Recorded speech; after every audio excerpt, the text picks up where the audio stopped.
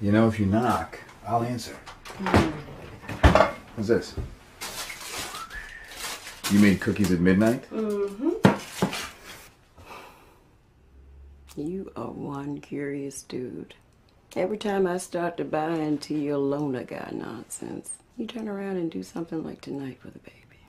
So I made you cookies. I hate cookies. Sure you do, darling. Sure you do.